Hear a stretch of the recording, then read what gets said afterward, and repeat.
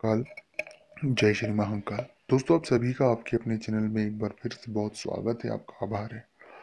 सिर्फ़ एक छोटा सा निवेदन है कि आप चैनल को ज़रूर सबसे नीचे बटन है, उसे सब्सक्राइब को दबाएँ। कमेंट्स में लिखिए जय श्री महाकाल पत्नी तो एक ही होनी चाहिए, क्योंकि बहुत से लोग अवैध संबंधों संबंधों के बारे में इतने सारे कमेंट्स मुझे मिलते हैं, इतनी सारी बातें होती हैं कि जिसके बारे में मैं शायद बहुत ज़्यादा बातें वीडियो भी बना चुका हूँ पहले इस विषय लेकर, लेकिन मैं एक विषय हर एक राशि के लिए यही बात होगी, सब पर ये बात लागू होगी।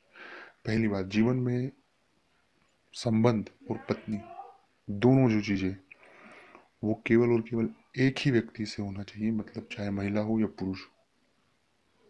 क्योंकि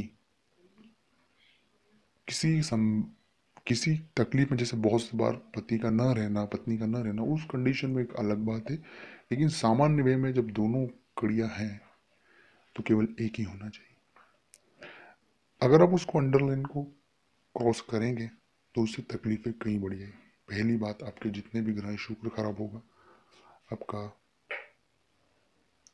बृहस्पति खराब होगा।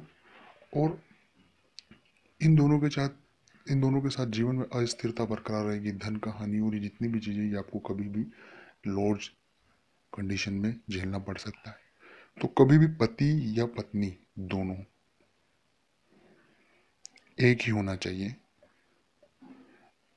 आप इस बात को बहुत अच्छे समझ रहे हैं। बहुत से लोग अवैध संबंध जो है, वो जीवन के लिए तकलीफ़ दे हैं और इसमें कई बार बड़ी बड़ी परेशानियाँ क्रिएट हो जाती उन नादान बच्चों को भी इसका खामियाजा भुगतना पड़ता है, जिनका कोई भी गलती नहीं होती है।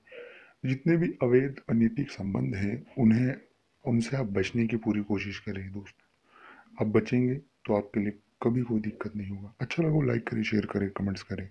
राय लिखें। जय श्री महाकाल, जय श्री महाकाल।